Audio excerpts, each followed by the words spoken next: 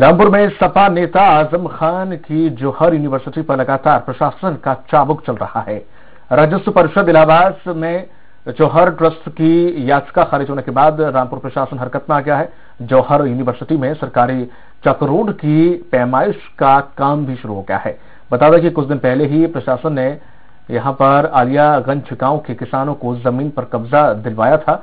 वहीं अब ग्राम समाज की चक्रोड भी खाली करवाई जाएगी। दरअसल किसानों की ज़मीन पर जाने का रास्ता नहीं था। आज प्रशासन ने किसानों की ज़मीन पर जाने के लिए चक्रोड की पैमाइश भी शुरू कर दी है।